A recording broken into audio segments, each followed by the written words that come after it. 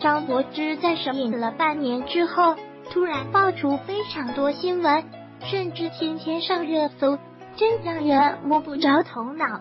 而他本人却一点也不在乎，一直没有回应。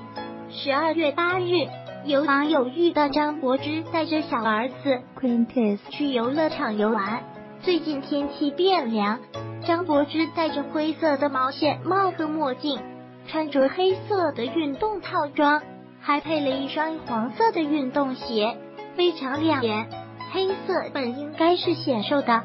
可张柏芝看上去却是虎背熊腰，胖了不少。张柏芝表现的非常亲民，跟网友们逐一合照，甚至还跟网友脸贴脸合照。看上去圆润了不少的她，还特意躲到网友的身后，希望能让自己的脸在镜头里显得小些。另外，网友还分享了张柏芝和 Quintus 一起玩游戏的照片。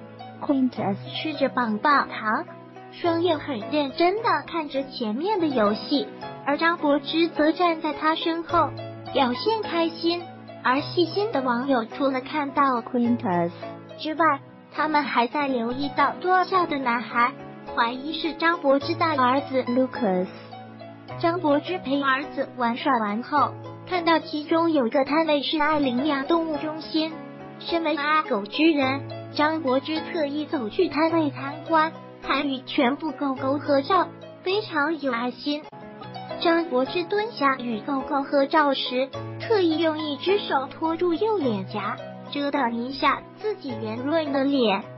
换了角度再拍一张，看着张柏芝粗壮的大腿和手臂，想必在这神隐的半年里，他过得非常滋润，不然怎么胖了这么多？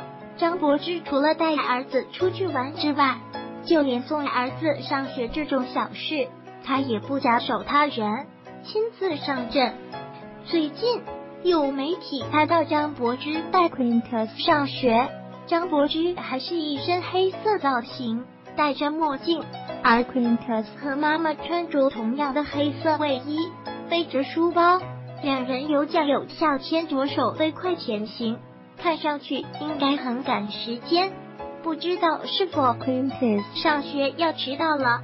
而就在过马路时，突然有辆中巴车转入，张柏芝立马护住了儿子，停在路边，让中巴车先进去。就如张柏芝的好友所说，他现在全部心思都是在两个儿子身上，过得非常快乐。就连体态都展现出了幸福肥的模样。